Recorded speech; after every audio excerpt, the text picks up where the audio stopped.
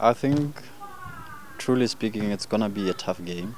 As you know, the Hopo is not bringing the good results.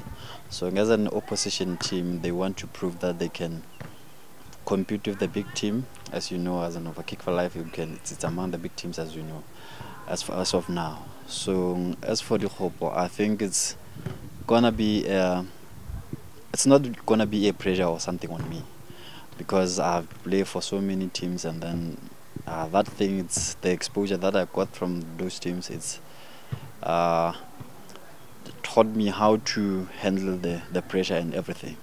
So to be easy uh, Hopo it's one of the teams that I can say we are playing against the even the game the matches that we've won.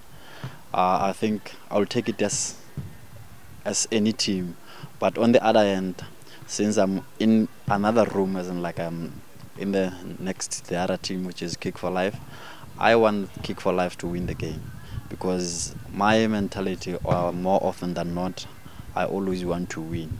This is what I have. I think for every team as in like starting on Monday on doing your preparations you want to get the three points. And in football three points it's a major thing that you want to move from one position to another.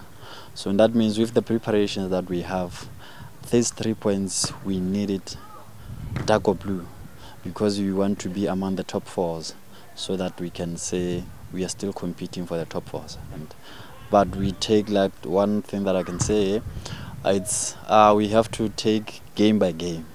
That's an important thing. We are not aiming high, but we are aiming for three points every